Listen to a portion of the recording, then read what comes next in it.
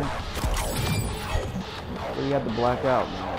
I had to really turn my brain off in this play.